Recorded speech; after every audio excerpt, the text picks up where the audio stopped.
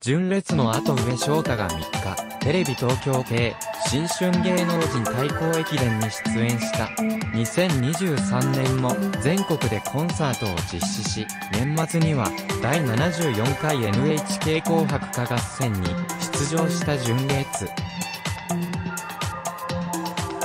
多忙な活動が続く中で五条は、密かに駅伝出演に向けて体づくりを進めてきた。